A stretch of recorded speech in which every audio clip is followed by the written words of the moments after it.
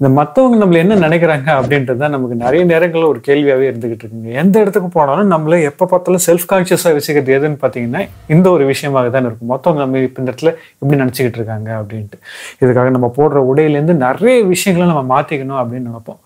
ஆனால் இது அவ்வளோ காம்ப்ளிகேட்டடான விஷயமே இல்லை. வெறும் ஒரு அஞ்சே அஞ்சு விஷயத்தை வச்சு நம்ம கணிச்சிடலாம். மற்றவங்க நம்மளை எப்படி பார்க்குறாங்க அப்படின்ட்டு. Hello friends welcome to psychology in Tamil நான் டாக்டர் ஜித்தேந்திரா என்ன பொறுத்த இருக்குங்க வெறும் அஞ்சே அஞ்சு கேட்டகரி அது கேட்டகரின்னு கூட நம்ம யோசிக்க வேணாம். நீங்கள் இதை பார்த்த உடனே நெக்ஸ்ட் டைம்லேருந்து இவங்க நம்மளை எப்படி ஜட்ஜ் பண்ண போகிறாங்க அப்படின்றத நம்ம தெரிஞ்சுக்கலாம்.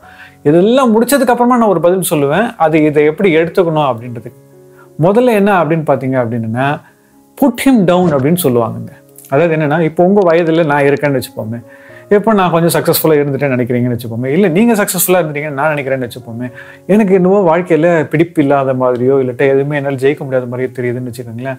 அப்போ நான் உங்களை எப்படியாவது தரம் தாழ்த்தணும் அப்படின்றது யோசிச்சுக்கிட்டே இருப்பேன். அது நீங்கள் என்ன செஞ்சாலும் சரி நான் உங்களை தரம் தாழ்த்தணும்னு யோசிச்சுக்கிட்டே இருப்பேன். ஆனால் நீங்கள் நேரில் வந்து சந்திச்சிட்டிங்கன்னு வச்சுக்கோங்களேன் உங்களுக்கு நான் வந்து நேர பேசும்போது வந்து சிரிச்சு பேசுகிற மாதிரிலாம் செய்யலாம்.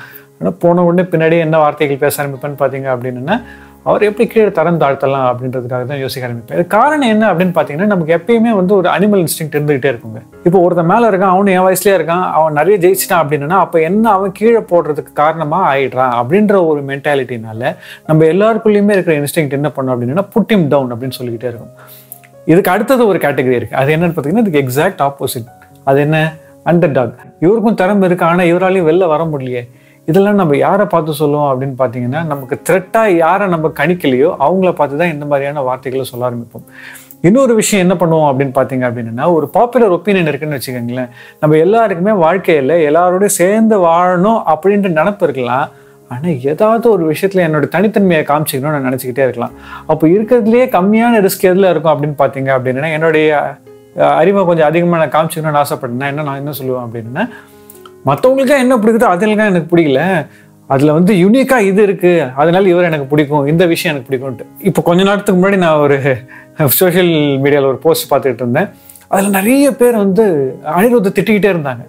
என்ன காரணம் அப்படின்னு பார்த்தோம் அப்படின்னா வந்து என் மனசுக்கு தோணுன ஒரே விஷயம் தான் இந்த பையன் சின்ன வயசில் இவ்வளோ புகழில் இருக்கான். அவன் எப்படியாவது கீழே போட்டுருணுட்டு ஓவர் ரேட்டட் யார் அண்டர் ரேட்டட் யாருன்ற மாதிரியான ஒரு டாபிக்னு நினைக்கிறாரு. அதை கீழே பார்த்தீங்க அப்படின்னா இந்த அண்டர் ரேட்டட்னு சொல்கிறவங்கள வாய்க்கு வந்தவங்களெல்லாம் எல்லாரையும் அண்டர் ரேட்டட் அப்படின்ட்டாங்க. அப்போ இவங்க எல்லாம் இதன் மூலமாக என்ன தேடுறாங்க அப்படின்னு பார்த்தீங்க அப்படின்னா இந்த அண்டர் ரேட்டட்னு சொல்கிறது மூலமாக ஒருத்தனை கீழே போடணும். இது நமக்கு பிடிச்சிருக்கா பிடிக்கலையான்றதுலாம் செகண்டரி ஆனால் நம்மளை நம்ம தனித்துவமாக காமிச்சிக்கணும் அப்படின்ற எண்ணம். ஸோ இதுதான் முதல்ல புட்டிம் டவுனு அடுத்தது அண்டர் டாக் இதுக்கு அடுத்தது ஒரு லெவல் இருக்குது சேலஞ்சர் அப்படிங்கிறது. அப்படின்னா என்ன அப்படின்னா இப்போ இவங்கெல்லாம் கொஞ்சம் வெளியில இருக்காங்க. இப்போ அனிருத்தோ இல்லட்டா மற்ற மியூசிக் டைரக்டர்ஸோ நாங்கள் நீங்கள் யார் எடுத்தீங்கன்னாலும் அவங்களாம் நம்மளுடைய சமுதாயத்தில் நம்ம கூட பழகிறவங்களா இல்லை. இப்போ நம்ம கூட பழகிறவங்களா இருக்காங்க பார்த்தீங்களா அவங்களில் யாரெல்லாம் நமக்கு சேலஞ்சராக இருக்காங்க? அதாவது நம்ம பதவியை பரிசிக்கிறதுக்கு வாய்ப்புகள் இருக்குது பதவி அப்படின்னு நான் இடத்துல சொல்லும்போது உங்கள் வேலைன்றது மட்டும் இல்லை. இந்த சோஷியல் ஸ்பியரில் உங்களுடைய இன்ஃப்ளூயன்ஸ்னு சொல்லுவோம். அதாவது உங்களுடைய இடம் எங்கே இருக்குன்றது இருக்கு இல்லைங்களா? அந்த இடத்துக்கு யாரெல்லாம் சேலஞ்சராக இருக்காங்களோ அவங்கள எல்லாமே நம்ம எப்படி பார்ப்போம் அப்படின்னா வந்து கொஞ்சம் தரம் தாழ்த்து தான் யோசிக்க ஆரம்பிப்போம். அவங்க நீங்கள் என்ன ட்ரெஸ்ஸு போட்டிருந்தாலும் சரி ரைட் என்ன மாதிரியான காரில் வந்தாலும் சரி என்ன மாதிரியான ஃபோனை யூஸ் பண்ணாலும் சரி நீங்கள் எவ்வளோ நல்லவராக இருந்தாலும் சரி நீங்கள் அவங்களுக்கு சேலஞ்சர் ஆகிட்டிங்கன்னா அதை எப்படி நெகட்டிவ் லைட்டில் காமிக்கலாம் அப்படின்னு தான் யோசிப்பாங்க. நீங்கள் யோசிச்சு பாருங்களேன் ஒருத்தர் நல்லா ட்ரெஸ் பண்ணியிருந்திருப்பாரு இவனுக்கெல்லாம் காசு எங்கேருந்து வந்திருக்கும்னு நினைக்கிறேன். இப்படி பேசுவாங்க. ஒருத்தர் சரியாக ட்ரெஸ் பண்ணாமல் வந்திருக்காரு இவனுக்கெல்லாம் என்ன குறைச்சல் ஏன் இப்படி ட்ரெஸ் பண்ணிட்டு இருக்க அப்படின்னு பேசுவாங்க. இப்போ ரெண்டு இடத்துலையுமே பார்த்தீங்கன்னா அவர் நல்லது செஞ்சாலும் ஓகே தான் நல்லது செய்யலைனாலும் ஓகே தான். அவரை நான் ஒரு இடத்துல தான் வைக்க போகிறேன் அப்படின்றது தான் மென்டாலிட்டி காரணம் என்ன அப்படின்னா அவங்க நம்மளோட சோஷியல் ஹயராக்கியில் சேலஞ்சராக இருக்காங்கன்ற ஃபீலிங் இதே லெவலில் தான் இருக்கீங்க. ஆனால் கொஞ்சம் நீங்கள் மேலே போயிட்டீங்கன்னு வச்சுப்போமே. அப்போது நீங்கள் யாராக மாறுவீங்கன்னு பார்த்தீங்கன்னா இன்ஸ்பிரேஷனாக மாற ஆரம்பிப்பீங்க. இவங்கள மாதிரி நம்ம வந்துடணும் அப்படின்றத யோசிக்க ஆரம்பிப்பாங்க. அப்போது அவங்க என்ன பண்ணுவாங்க? அட்லீஸ்ட் மற்றவங்களுக்கு முன்னாடி இல்லை. உங்களுக்கு முன்னாடியாவது உங்களை புகழ்ந்து பேசுறது எப்படியாவது உங்களுடைய குட் லைட்டில் இருக்கிறது உங்களுடைய நல்ல ஆட்ரிபியூட்ஸ் எடுத்துகிட்டு வளரணும்னு நினைக்கிறது இந்த மாதிரி மாற ஆரம்பிப்பாங்க.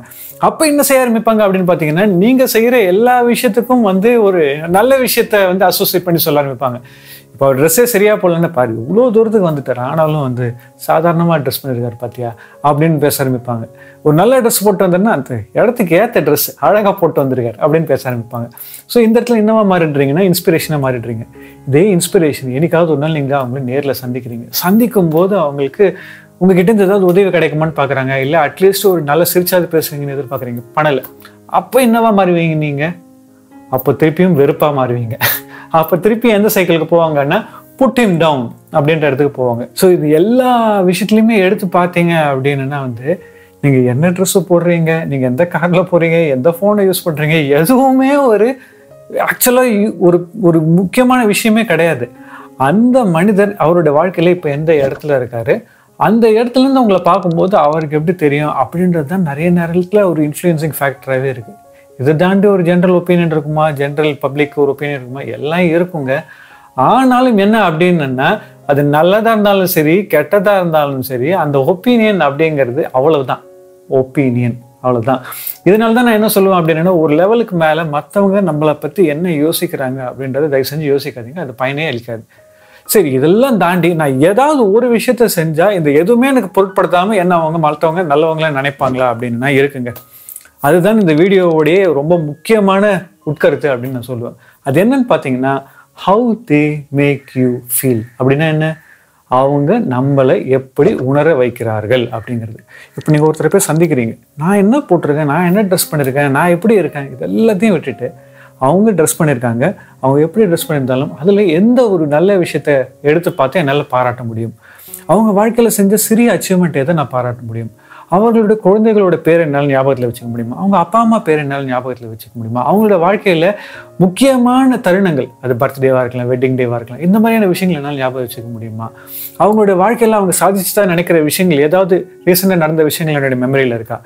இந்த மாதிரி ஏதாவது ஒரு விஷயத்தை வச்சு அவங்க கிட்ட பேச ஆரம்பிச்சிங்க. அவங்கள சென்டர் ஆஃப் அட்டென்ஷனை வச்சு அவங்கள நல்லா ஃபீல் பண்ண வச்சிங்க அப்படின்னு வச்சுப்போமே நீங்கள் கிழிஞ்சு போன ட்ரெஸ்ஸு போட்டிருந்தாலும் சரி நீங்கள் எப்படி இருந்தாலும் சரி அந்த மனிதருக்கு உங்கள் மேல் ஒரு பாசிட்டிவான ஆட்டிடியூட் டெவலப் ஆக ஆரம்பிக்கும் காரணம் என்ன அப்படின்னு பார்த்தீங்க அப்படின்னா இதற்கு நான் முன்னாடி சொன்ன பார்த்தீங்களா அஞ்சு பாயிண்ட்டு இந்த அஞ்சு பாயிண்ட்லேயுமே ரொம்ப முக்கியமாக இருக்கிறது என்னன்னு பார்த்தீங்க அப்படின்னா how they made the other person feel மற்றவங்களை எப்படி அவங்க உணர வச்சாங்க அப்படின்றது தான்.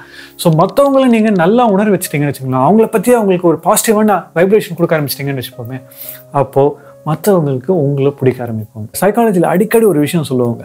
அதாவது ஒரு காம்ப்ளிமெண்ட்ன்றது அதாவது மற்றவங்களை பற்றி அதாவது நீங்கள் நல்ல விஷயம் சொல்கிறீங்கன்னா அது பொய்யாவே இருந்தாலும் அவங்க அது சந்தோஷப்படுவாங்களாம்.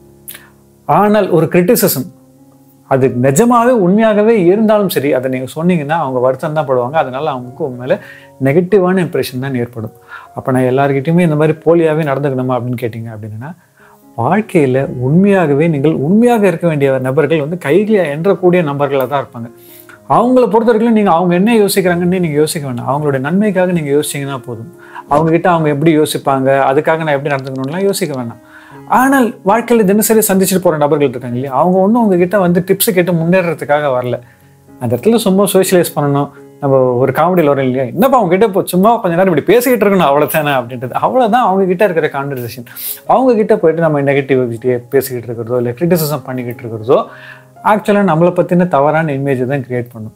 ஸோ இன்றையோட டேக்அவே என்னென்னா மற்றவங்க உங்க மேலே கரெக்டான பாசிட்டிவான ஆட்டிடியூட் வச்சிருக்கணும்னா அவங்கள நல்லா ஃபீல் பண்ண வைங்க. அதுக்கு என்ன செய்யணுமோ அது செய்யுங்க.